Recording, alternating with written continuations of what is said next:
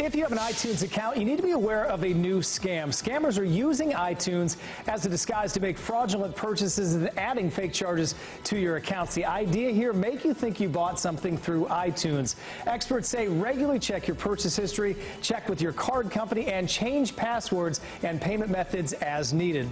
Meanwhile, Fiat Chrysler Automotive is wanting to merge with Renault to save billions of dollars. The French government owns about 15% of the car company. They say they welcome the merger as long as it benefits Renault's economic and industrial developments as well as its employees. Officials for Renault plan to meet to discuss further details. They are in a current alliance with auto manufacturers Nissan and Mitsubishi.